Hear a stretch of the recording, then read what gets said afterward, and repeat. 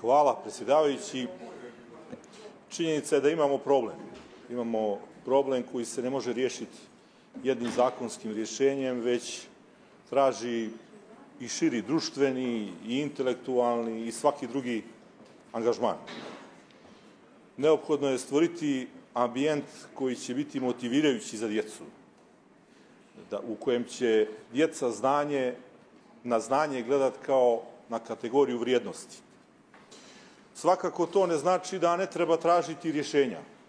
I ona zakonska, naravno, potrebna je i ta vrsta forme koja će imati određeno dejstvo.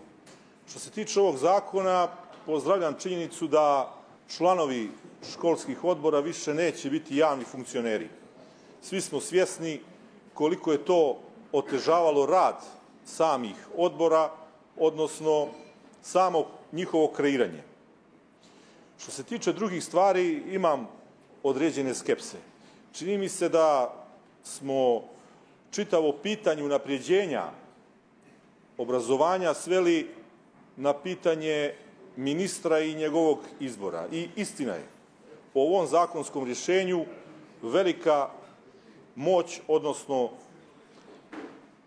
moć će biti akumulirana u jednoj ličnosti, što je loše, uz ono diskrecijno pravo da ne bira prvog, već drugog ili trećeg kandidata sa liste uz određeno obrazloženje. Puno se govorilo danas i o klasifikacionim periodima, pa da ih više neće biti četiri, već da će biti dva takva vremenska intervala i to se pravdalo na način da više da će biti e, manje administrativnog rada samih nastavnika, a da će djeca biti izložena manjoj količini stresa.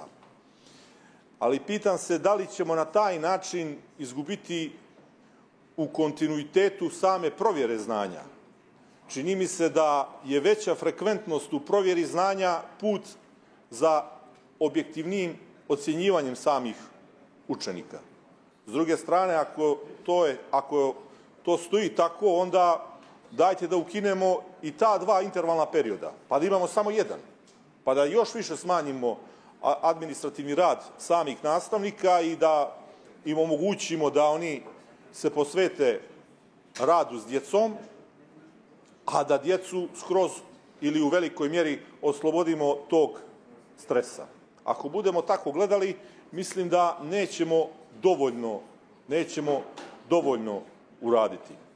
Ja želim da ovaj zakon da svoje pozitivne efekte, ali ostaje mi ona skepsa oko prava ministra da bira, da bira svoje direktore, da bira, da bira direktore e, škola i u tome mogu vidjeti potencijalno, potencijalno da neko, a to je e, trenutna vlast, kogod, kogod ona bila, e, vidi zapravo u obrazovnim jedinicama jedan politički resurs za predizborne i izborne utakmice.